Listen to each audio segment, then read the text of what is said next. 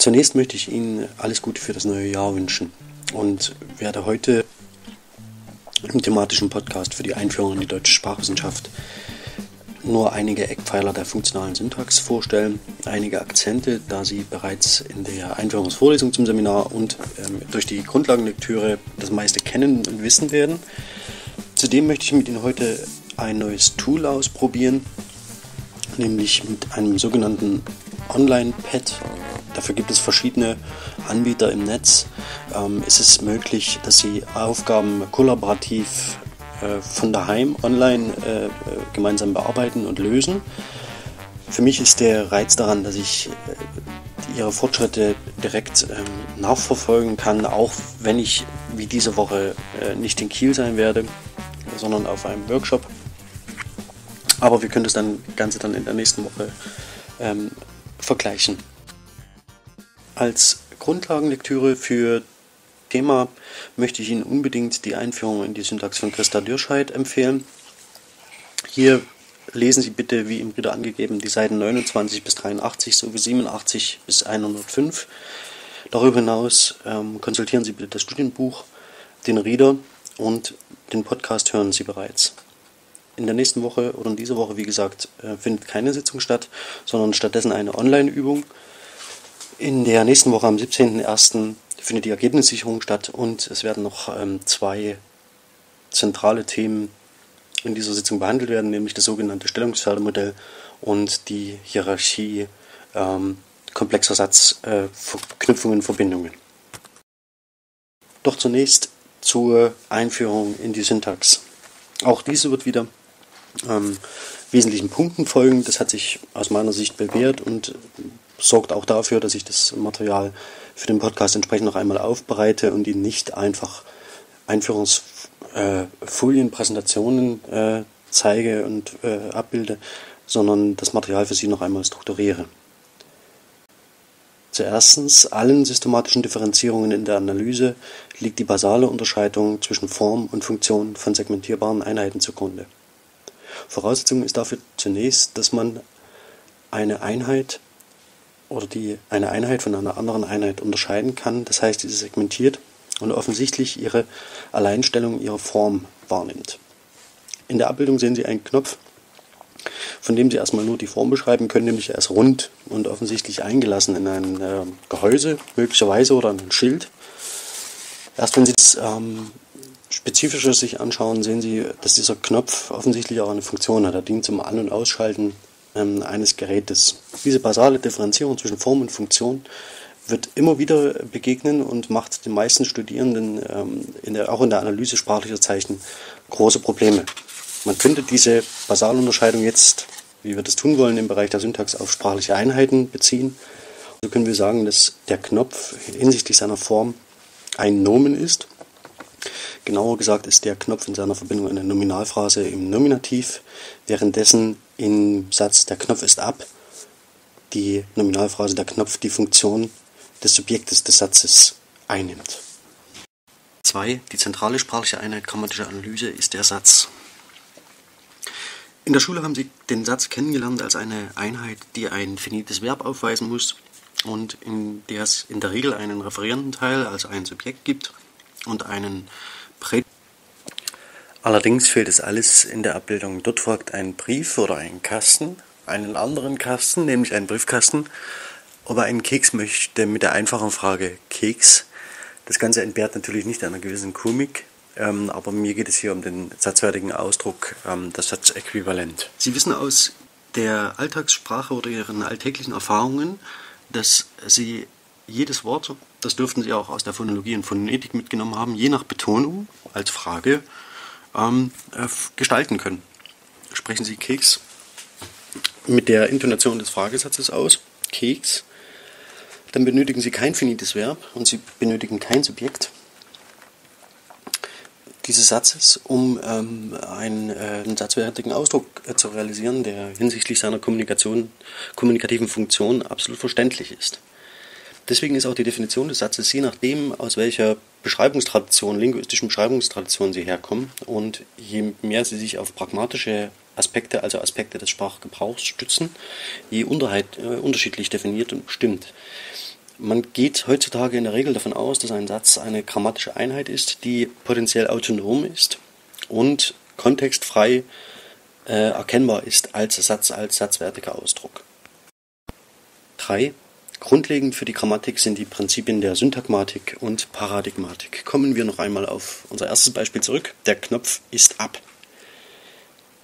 Hier haben wir eine Reihenfolge äh, sprachlicher Einheiten, die miteinander auf einer Ebene äh, geordnet sind. Und diese stehen in wechselseitigen Relationen zueinander. So ist konkurrieren der Kopf mit der Verbform. Äh, hier eine Form von Sein in der dritten Person Singular Präsens Indikativ. Wie mit ab umzugehen ist, ähm, ist tatsächlich fraglich. Äh, es verhält sich hier ähnlich wie die Tür ist zu, das Fenster ist auf. Ähm, und der Status von ab oder zu äh, ist tatsächlich ungeklärt und grammatisch umstritten. Davon abgesehen ist es aber so, dass hier quasi ein Syntagma abgebildet wird, also eine Reihung. Sie können aber der Knopf durch andere sprachliche Einheiten ersetzen, ähm, quasi hier äh, in Parag äh, paradigmatischer äh, Orientierung und Sätze formulieren wie der Kopf ist ab. Besser wäre natürlich der Kopf ist hell. 4. In, in der grammatischen Analyse werden syntaktische Kategorien, nämlich die Form und syntaktische Funktionen, unterschieden. Schauen wir uns zunächst die syntaktischen Kategorien an. Der Kopf ähm, ist offensichtlich eine sprachliche Einheit, die mehrteilig ist. Schaut man sich die lexikalischen Kategorien an, nämlich die Wortarten, dann ist diese sprachliche Einheit zerlegbar in einen Artikel und ein Nomen. Hier ist es erkennbar, dass es ein Nomen oder eine Nominalphrase, das wäre dann die phrasale Kategorie, im Nominativbild äh, ist und diese bilden die größeren Einheiten innerhalb satzwertiger Ausdrücke. Schauen wir auf die syntaktischen Funktionen. Im Satz der Knopf ist ab übernimmt die Nominalphrase im Nominativ, der Knopf, die in die lexikalischen Kategorien ähm, des Artikels der und des Nomens Knopf zerlegt werden kann, die Funktion des Subjekts. Das Subjekt oder auch andere ähm, syntaktische Funktionen sind relationale Begriffe, denn sie sagen immer etwas darüber aus, in welchem Bezug eine sprachliche Einheit zu einer anderen steht. Hier steht der Knopf in einem spezifischen Verhältnis zum Verb oder zum Prädikat des Satzes. So ist im Satz der Knopf ist ab die Nominalphrase der Knopf Subjekt und steht im Vorbereich dieser Relation, ähm, während das Verb im Nachbereich der Relation steht. Fünf Phrasalkategorien bestehen aus Subkonstituenten und bilden selbst Konstituenten. Der Kern der Phrase legt die Kategorie der Phrase fest. Ein Problem ist in dieser Einführung gewissermaßen, dass sie noch ohne Konstituentenstrukturgrammatik, ohne Valenzgrammatik und ohne Dependenzgrammatik in die Syntax ähm, eingeführt werden. Diese speziellen ähm, grammatischen Schulen werden Ihnen im zweiten Semester ähm, begegnen und hier wird detailliert auf, auch noch einmal auf die Konstituentenstruktur eingegangen. Hier an dieser Stelle soll es nur genügen, dass Sie wissen, dass ähm, äh, die Konstituenten selbst ähm, innerhalb von sogenannten Konstituentenstrukturbäumen die Knoten darstellen, anhand deren sich ähm, bestimmte Zusammenhänge sprachlicher Einheiten ähm, zeigen lassen können. Nehmen wir den Beispielsatz, Wovereit wusste offenbar seit Wochen von der erneuten Verschiebung, nämlich der Eröffnung des Flughafens Berlin-Brandenburg. Der Präpositional, dann lassen sich hier zum Beispiel die Phrasen bestimmen ähm, der Nominalphrase, der Präpositionalphrase und der Verbalphrase. Entscheidend ist, wie gesagt, dass der Kern der Phrase, nämlich eine Wortart, die für die Phrase äh, entscheidend ist und für ihre Form im Wesentlichen verantwortlich ist, die Kategorie der Phrase festlegt. Bitte lesen Sie sich unbedingt zu diesem Komplex ähm, in die Syntax von Christa Dürscheid ein und eine Liste, vollständige Liste der Phrasen für das Seminar ähm, liegt Ihnen auch im Reader zum Seminar vor. Sechstens, Satzglieder und Satzgliedteile als Satzfunktionen lassen sich durch verschiedene Tests ermitteln und segmentieren. Das möchte ich mit Ihnen ganz gerne an einem vorgestellten Beispielsatz äh, illustrieren. Im Wesentlichen werden drei unterschiedliche äh, Testverfahren äh, benannt und genutzt, nämlich äh, die Verschiebeprobe, Permutation, die Ersatzprobe, Substitution und die Weglassprobe, die Reduktion. Kennzeichen von Satzgliedern ist, dass sie sich in satzwertigen Ausdrücken verschieben lassen. Ähm, das wollen wir kurz versuchen. Der Ausgangssatz war, Wovereit wusste offenbar von der erneuten Verschiebung. Jetzt ist es möglich, alle Teile dieses äh, Satzes zu verschieben und Einzelteile herauszuarbeiten. Probieren wir das und erhalten den Satz von der erneuten Verschiebung wusste Wovereit offenbar. Dann stellen Sie fest, dass sich alle Glieder des äh, Satzes verschieben lassen, ähm, mit Ausnahme ähm, des Verbs, also der von Ihnen Verbform, wissen, also hier in der dritten Person ähm, Präteritum Indikativ, wusste, das führt uns im Wesentlichen auf die Satzform und die Satzart zurück, doch dazu kommen wir an einem späteren Zeitpunkt. Sie können diese Teile, die Sie gerade durch eine Verschieberprobe ermittelt haben, auch äh, ermitteln, indem Sie eine Substitution, also eine Ersetzung vornehmen. Das probieren wir hier an dieser Stelle einmal. Von der wiederholten Verschiebung hatte Wovereit wahrscheinlich Kenntnis. Hier wird das Verb wissen durch ein Funktionsverb ersetzt oder Funktionsverbgefüge ersetzt, hat Kenntnis, dass sie nicht ohne weiteres ähm, aufspalten können.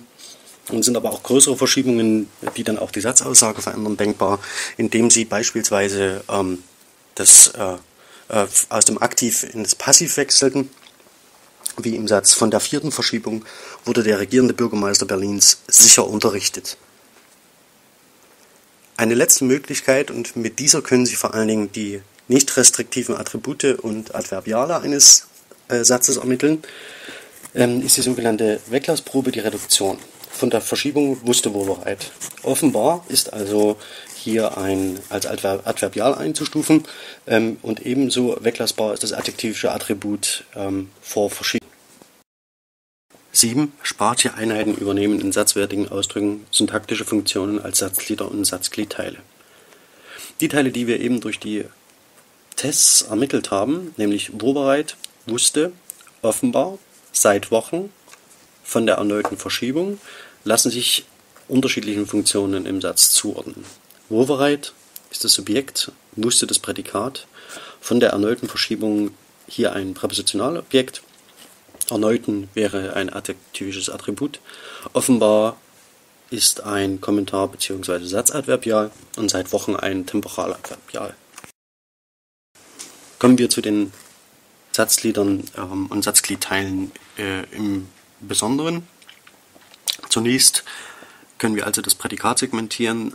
Das ist zentral für die Satzaussage und es ist das, was vom Subjekt prädiziert wird. Eine zweite Gruppe bilden die äh, bilden das sogenannte Subjekt und die Objekte. Das Subjekt, hier in unserem Beispiel Wovereit, ist eine Nominalphrase im Nominativ und sie tritt im Vorfeld des Satzes auf, das heißt in der Regel vor dem finiten Verb. Ganz anders als die Objekte. Diese können Nominalphrasen im Akkusativ, im Dativ, im Genitiv sein und sie treten im Mittelfeld des Satzes auf, also nach der finiten Verbform das werde ich Ihnen im Ausblick auf die nächste Sitzung noch illustrieren. Eine besondere Form ist das sogenannte Präpositionalobjekt. Ähm, das Besondere ist hier, dass es eigentlich eine Präpositionalphrase ist, aber mit einer semantisch leeren Präposition, die nicht austauschbar ist und ursprünglich lokalen Ursprungs ist. Auch, diese Präposition, auch dieses Präpositionalobjekt erscheint in der Regel im Mittelfeld des Satzes. Prädikative Glieder stellen eine Sonderform dar, das, äh, sie beziehen sich auf ein anderes Satzglied und meist in Bezug auf das Subjekt, zumindest mit den typischen Copula-Verben sein, bleiben und werden. Also Beispielsätze sind er ist Lehrer, er wird Lehrer, er ist schön, ähm, er wird beliebt sein.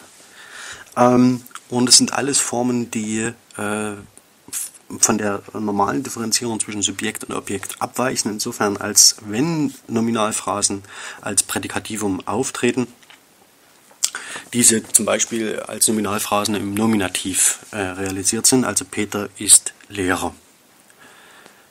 Die Unterscheidung, ähm, was in dem Satz Peter ist Lehrer als Subjekt und als äh, ähm, Prädikativum zu gelten hat, ist nicht ganz einfach.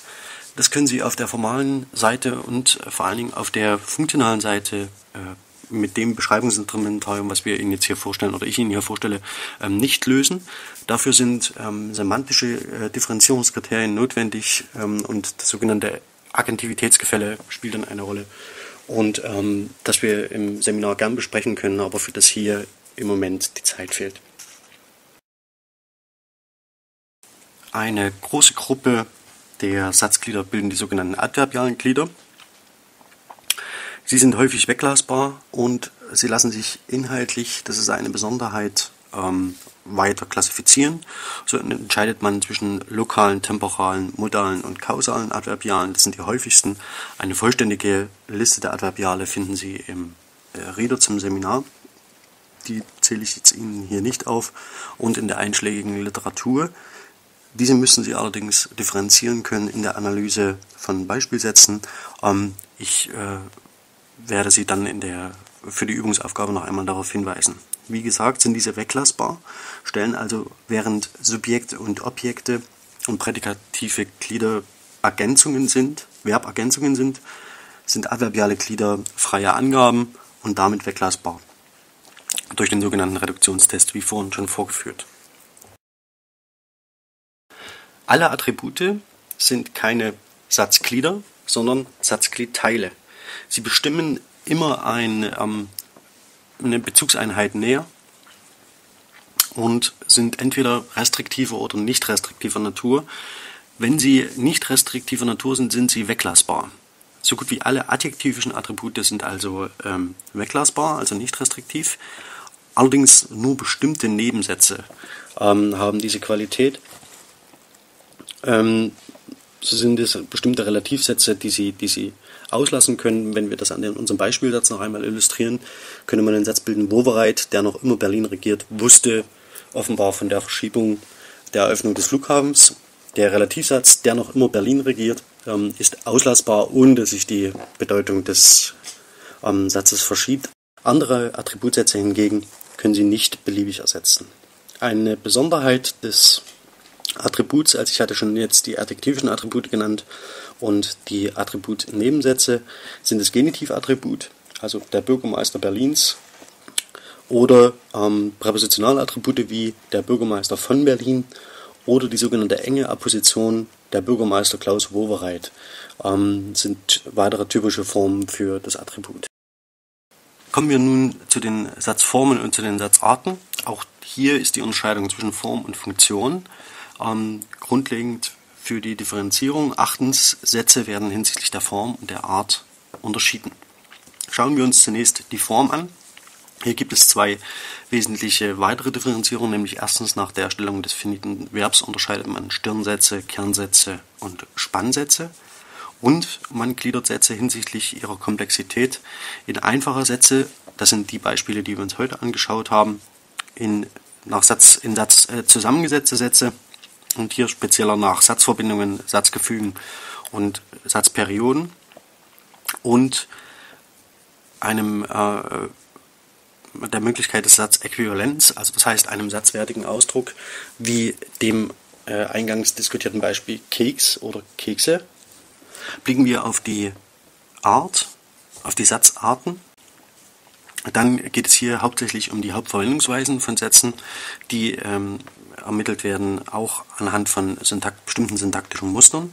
So unterscheiden wir den Aussagesatz, den Fragesatz, den Aufforderungssatz, den Wunschsatz und den Ausrufesatz. Am häufigsten, auch hier besprochen, ist der sogenannte Aussagesatz. Auch in der Beispielübung werden Sie hauptsächlich Aussagesätze vorfinden. Hier ist das Entscheidende, dass, der, dass das Verb, finite Verb, ähm, die linke Satzklammer bildet, wo bereits wusste von der Verschiebung. Für den Fragesatz sind zwei Formen zu unterscheiden nämlich einmal die Ergänzungsfragen, die äh, mit einem Interrogativpronomen eingeleitet sind, äh, dem das Verb folgt, zum Beispiel in was wusste wo bereit von der Verschiebung. Und zum, die andere Form ist die sogenannte Entscheidungsfrage. Und hier bleibt das Vorfeld leer und das Verb erscheint an erster Stelle, wusste wo bereit von der Verschiebung. Eine weitere Art ist der sogenannte Aufforderungssatz. Hier erscheint das finite Verb im Imperativ an der ersten Stelle, ist also wie die Entscheidungsfrage der Form nach einem Stirnsatz. Wisse von der Verschiebung könnte man wohl bereits zurufen. Ähm, oder allen anderen, die bisher davon nichts wussten, was vielleicht auch besser gewesen wäre. Der Wunschsatz ist, äh, wird durch Konjunktiv 1 und Konjunktiv 2 äh, realisiert und der Ausrufesatz ähm, äh, kann unterschiedlichste Formen haben und äh, steht dem äh, Imperativsatz ähm, sehr nahe. Das sind die Grundlagen für die Einführung in die Syntax des einfachen Satzes. Wir haben uns, ich habe Ihnen ganz kurz äh, den Überblick gegeben über die phrasalen Kategorien und die syntaktischen Funktionen. Nicht besprochen ist bisher ein für komplexere Sätze. Das klang kurz in der äh, Beschreibung oder Differenzierung nach Satzformen an und auch das Stellungsfeldermodell ähm, haben wir uns nicht angeschaut. Auch hier ist die Differenzierung bei den Satzformen und Satzarten bereits darauf eingegangen. Ich möchte Ihnen ganz kurz hier noch einmal vier Beispielsätze vorstellen, in denen Sie sich das äh, Stellungsfeldermodell schon einmal ähm, näher betrachten können, bevor wir in der nächsten Woche darauf detailliert eingehen. Wesentlich ist hier die Frage, in welcher Position erscheint das finite Verb. In den meisten Sätzen steht das finite Verb in der sogenannten linken Satzklammer. Ähm, haben wir ein mehrteiliges Prädikat, erscheint der zweite Teil des Prädikats, der nicht finite, in der sogenannten rechten Satzklammer. Im Mittelfeld, im Mittelfeld ähm, können unterschiedliche ähm, sprachliche Einheiten stehen. In der Regel ist es der Platz für ähm, sämtliche ähm, Objekte. Wie Sie aber an den Beispielen sehen, können unterschiedliche Satzformen und Satzarten ganz unterschiedliche Ausprägungen im sogenannten Stellungsfeldermodell haben. Der erste Satz hat wo bereit von der Verschiebung gewusst, ist eine ähm, Entscheidungsfrage. Sie sehen hier, dass wir ein mehrteiliges Prädikat haben, aufgrund dessen, dass es eine äh, äh, veränderte Zeitform ist. Also das heißt, es ist ja ein, ähm, äh, perfekt realisiert. Das nächste Beispiel sehen Sie offenbar als Satzadverbial im Vorfeld des Satzes. Offenbar wusste wo bereit von der Verschiebung. Offenbar kann hier im Vorfeld ähm, auftreten, da es äh, ein äh, äh, Satzadverbial ist und beliebig verschiebbar. Wissen, das sehen Sie auch, steht hier an Verbzweitstellung, ganz typisch für das Deutsche. Sie könnten nicht den Satz bilden, offenbar Wovereit wusste von der Verschiebung. Ähm, es wäre ein ungrammatischer Satz. Das nächste Beispiel ist eine äh, Ergänzungsfrage mit Interrogativpronomen. Was könnte Wovereit von der Verschiebung wissen? Im letzten Beispiel sehen Sie einen komplexen Satz mit einem Objektnebensatz. Denn Sie können danach fragen, was hat Wovereit offenbar gewusst, dass die Eröffnung verschoben wird. Und dieser ähm, Objektnebensatz hat hier ähm, Satzgliedqualität. Ähm, Wovereit, ähm, denn Sie können den ähm, Hauptsatz nicht bilden. Wovereit hat offenbar gewusst, ohne ein Objekt zu realisieren. Ähm, und insofern ist äh, dieser Objektnebensatz obligatorischer Natur. Damit sind wir auch schon beim letzten Punkt angekommen, nämlich ähm, das syntaktische oder in die syntaktischen Analysen arbeitet man sich am besten durch umfangreiche Übungen ein. Tatsächlich ist es so, dass das Erlernen von syntaktischen Funktionen und Relationen Ihnen nicht weiterhilft. Ähm, Sie müssen konkret am Material arbeiten, um ähm, mit den Problemen und Schwierigkeiten in der Analyse ähm, konfrontiert zu werden, um die Nuancen, Feinheiten in der Analyse äh, selbst quasi äh, am praktischen Beispiel nachzuvollziehen. Und ich möchte Sie bitten, die beiden Übungsaufgaben, die unter diesem Video auch äh, in den Blogartikel eingebettet sind und Online-Pad für Sie zur Verfügung stehen, bis zum 17.01.2013 zu lösen. Äh, möchte Sie bitten, das online zu tun, das heißt so, dass ich auch die, Ihre Lösung und Ihre Schritte dahin ähm, nachvollziehen und möglicherweise kommentieren kann. Haben Sie bitte Vorsicht, sind die Aufgaben einmal gelöscht, sind sie weg und müssen neu gesetzt werden. Das heißt, seien Sie bitte sorgfältig. Ich freue mich auf nächste Woche, bin gespannt auf Ihre Lösungen und wünsche Ihnen einen guten Start in die zweite Hälfte des Semesters. Bis dahin, tschüss.